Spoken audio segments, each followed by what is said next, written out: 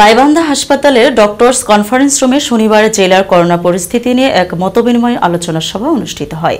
এতে জেলা করোনা চিকিৎসা সেবাদানকারী চিকিৎসক, নার্স, স্বাস্থ্যকর্মী সহ সংশ্লিষ্টদের সমস্যা, বিভিন্ন প্রয়োজনীয় কথা শোনালেন জেলার দায়িত্বপ্রাপ্ত ডাক ও টেলিযোগাযোগ মন্ত্রণালয়ের সচিব নূর উর রহমান। গাইবান্ধা প্রতিনিধি অবায়দুল ইসলাম জানান, এ সময় অন্যান্যদের মধ্যে বক্তব্য রাখেন জেলা প্রশাসক Mohammad Abdul Matin, police super Mohammad Tohidul Islam O civil surgeon doctor A B M Abu Hanif সহ চিকিৎসকরা। বিনিময়কালে সচিব বলেন, করোনার এই সংকটে চিকিৎসক ও স্বাস্থ্যকর্মীরা ফ্রন্টলাইন যোদ্ধা। সরকার সবসময় তাদের পাশে রয়েছে। কাজ করতে গিয়ে তাদের যেন কোনো ধরনের সমস্যা না হয়, সেটি নিশ্চিত করা হবে। তাদের মানসিকভাবে উজ্জীবিত রাখতে সবকিছু করা হবে।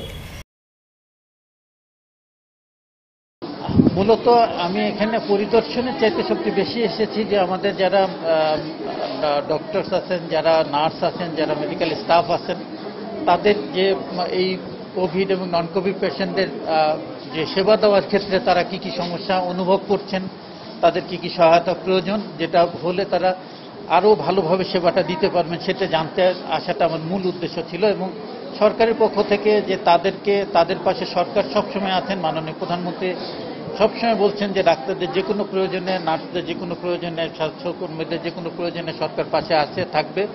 এই মেসেজটি তাদের কাছে পৌঁছে দেওয়া, তাদেরকে মানসিকভাবে উজ্জীবিত করা। এত বড় একটি বিপর্যয় থেকে বাংলাদেশকে আল্লাহ পাক এখনও ভালো রেখেছেন। আমাদের মাননীয় প্রধানমন্ত্রী, স্বাস্থ্যমন্ত্রী এবং অন্যদের নেতৃত্বে যেভাবে আমরা এখনও একটা নিয়ন্ত্রিত অবস্থায় রয়েছি, তার থেকে উত্তরণ ঘটিয়ে আমরা যেন দেশকে স্বাভাবিক পর্যায়ে নিয়ে যেতে পারি। সেজন্য ফ্রন্টলাইন ফাইটার হিসাবে আমাদের ডাক্তার নার্সদের পাশে থেকে তাদেরকে সাহস যোগানোর জন্য আমি এসেছি। দৌলত খান প্রতিনিধি মোহাম্মদ হাসনাইন জানান, দৌলত খান স্বাস্থ্য কমপ্লেক্সের কার্যক্রম পরিদর্শন করলেন কোভিড নাইন্টিন ভোলা জেলার দায়িত্বপ্রাপ্ত পরিকল্পনা মন্ত্রণালয়ের সচিব আবুল কালাম আজাদ।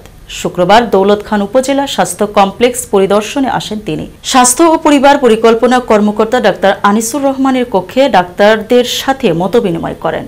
সর্বোচ্চ সেবা নিশ্চিত করতে সরকারের দিক নির্দেশনা তুলে ধরেন। কোভিড নাইন্টিন বিশ্ব মহামারীতে দেশে সম্মানিত ডাক্তারগণের আন্তরিক সেবা মানুষ মনে রাখবে বলে অভিমত ব্যক্ত করেন।